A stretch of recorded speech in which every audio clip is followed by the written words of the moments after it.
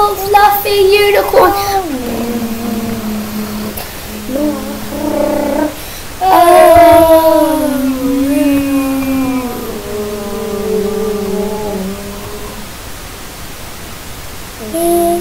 We're gonna get you this unicorn.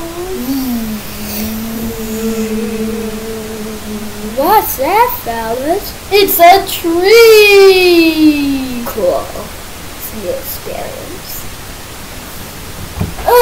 We're gonna get you. We got you now. I'll save you. Oh no, we can jump into the Black Sea.